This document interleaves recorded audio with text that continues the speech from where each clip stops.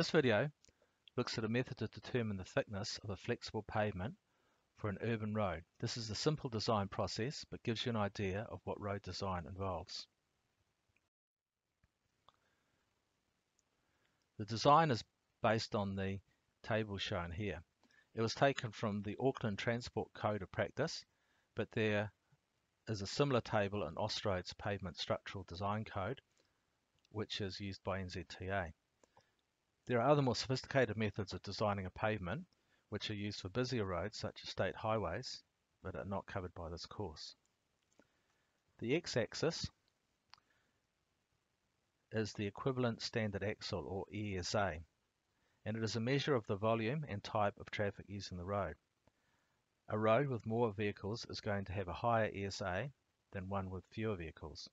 A road with a higher proportion of heavy vehicles is going to have a higher ESA than a road with few heavy vehicles. Note this is plotted on a log scale like the grading curve we looked at for uh, base course aggregates.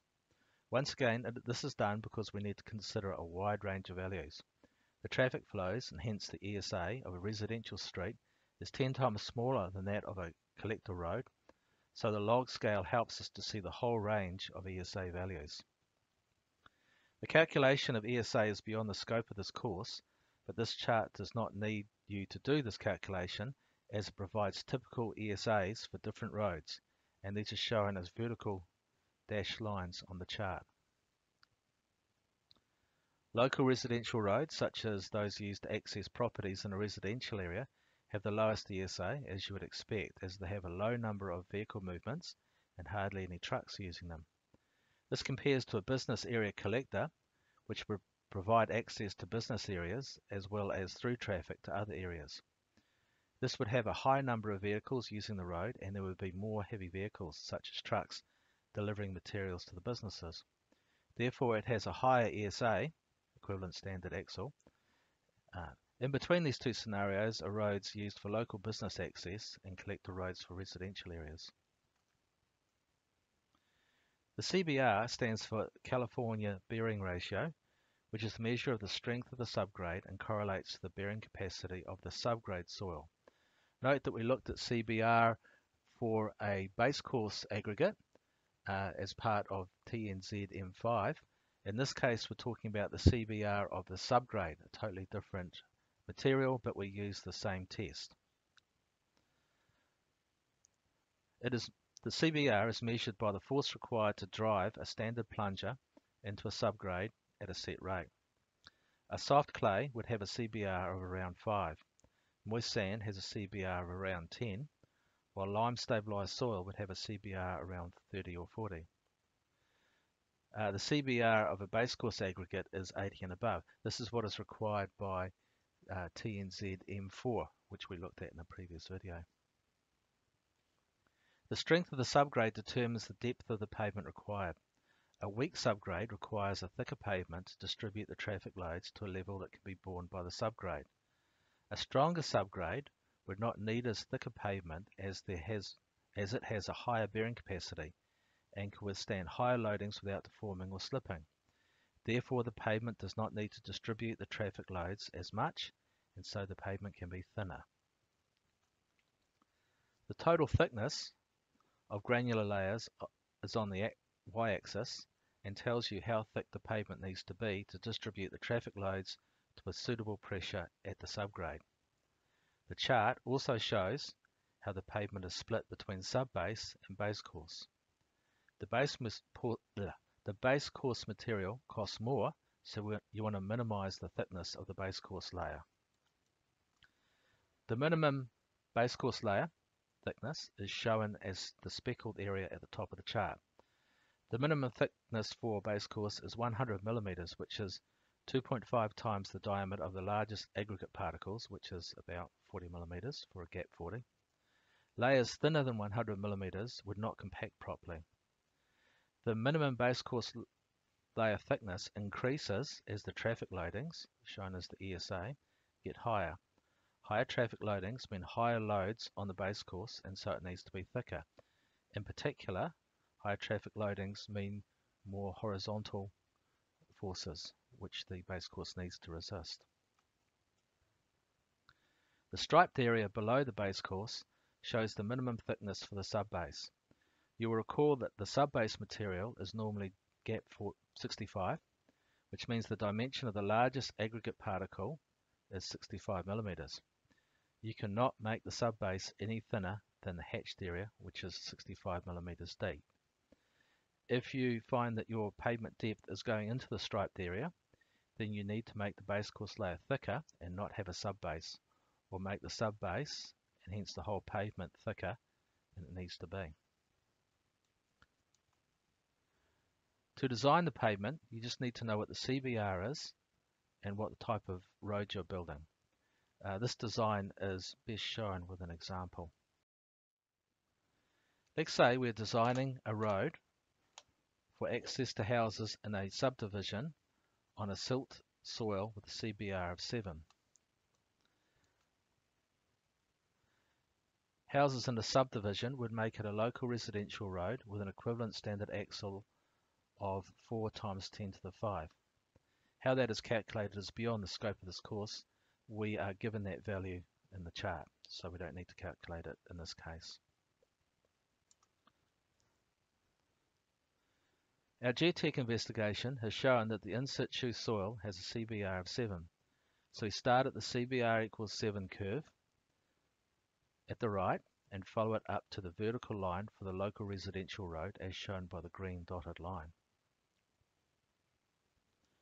We track across from the intersection of the curve and the vertical line to the y-axis as shown by the blue line.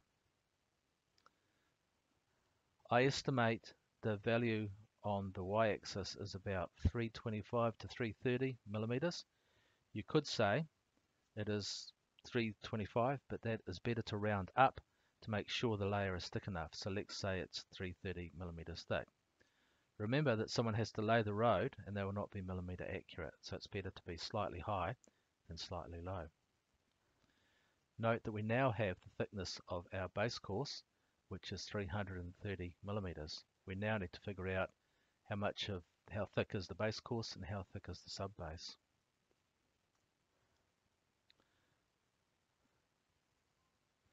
So we track up from the intersection to the underside of the speckled base course area, as shown by the red dotted line. We then track across to the y-axis, as shown by the orange line. I estimate the value of the y-axis, where the orange dotted line hits it, to be about 140 millimeters. That is the minimum thickness of the base course for this pavement is 140 millimeters. I could make it thicker, but that would cost more. So now we have the base course thickness is 140 millimeters. Lastly, we calculate the sub-base thickness. That is the total pavement thickness, which is 330 millimeters, minus the base course thickness, which is 140 millimeters. Therefore, the sub-base is 190 millimeters thick. Put another way, the pavement is composed of 190 millimeter thick sub-base with 140 millimeter thick base course on top giving a total pavement thickness of 330 millimeters. So that's designing the pavement. Let's design the road itself. Now we need to know how wide the road is. We use the Council Code of Practice for that as well. In this case, the Council is represented by Auckland Transport, so we use their Code of Practice. This drawing is a standard detail from Auckland Transport's Code of Practice. You will find a link to the Auckland Transport Code of Practice in the Resources section. The link takes you to the Code of Practice contents. Looking down the contents, we see that Chapter 7 is Road Layout and Geometric Design, which sounds like it may have some details on how our road needs to be laid out. Clicking on that takes us to the section, and down the bottom is the download for the drawings. Going through the drawings, I find the one pictured here, which is titled Local Road Cross Section, which is what I'm looking for and that, that drawing is shown here. It does take you a bit of time to find your way around these codes of practice as they have to contain a lot of information. Finding the right guidance is one of those skills you need to develop to be a road designer. Using tables of content is one way of doing this, as the people that produce these codes use headings and titles to make it easier for users to find what they want. So let's zoom in on the drawing. We can see that the carriageway consists of two lanes each with a 3 metre wide traffic lane and 2.2 metre parking lanes, giving a total lane width of 5.2 metres. The grass berm is 1.3 metres and the footpath 2.0 metres. I should emphasise that these are guidelines and the designer has the option of varying the design as they see fit, but they do need to sell the new design to the council who have the final say on what is accepted. So let's just go with the design suggested in the code for this particular road.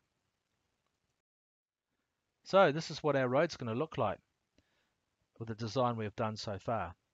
You can see how the design work we did has been set out in a cross-section drawing that has that the constructors can use to build the road. The thickness of the pavement layers and the widths of the road are shown. I've also added the assumption that the subgrade has a CBR of 7. The design only works if the subgrade is actually that strength or stronger, so we need to specify it on the drawing. If we find that it is less when we test it during construction, then we need to either increase the CBR with compaction or stabilization, or we need to change the design. I've also added a notation specifying the curb and channel to be used. You will find this profile on drawing GD009 of the Auckland Transport Code standard drawings. You will find this set on Moodle or you can access the Auckland Transport Code of Practice directly by Googling Auckland Transport COP. The link to the code should be near the top. Go to the site then select Chapter 7. The drawing download is at the bottom of Chapter 7 list of contents. If you look at the Auckland Transport Code drawings, then you will find details for other types of curb and channel and the footpath that you need to complete the cross section. You will also find other details such as the plan layout for driveways, vehicle crossings, roundabouts, traffic islands and cul-de-sacs. All of these details can be cut and pasted into the drawing set for your road. We still have the drainage and the vertical and horizontal alignments to design, and the road cross section would vary, as we saw on the drawing set we looked at in the road design topic. But hopefully you get an idea of how the pavement and some of the road design proceeds for this simple road, and how the design is presented in a drawing for the construction team. We have also have to provide information about the materials and standards of workmanship required to build the road. These details were provided in the specifications that we looked at in the previous topic. Between them, the specifications and the drawings provide much of the detail the constructors need to build the road.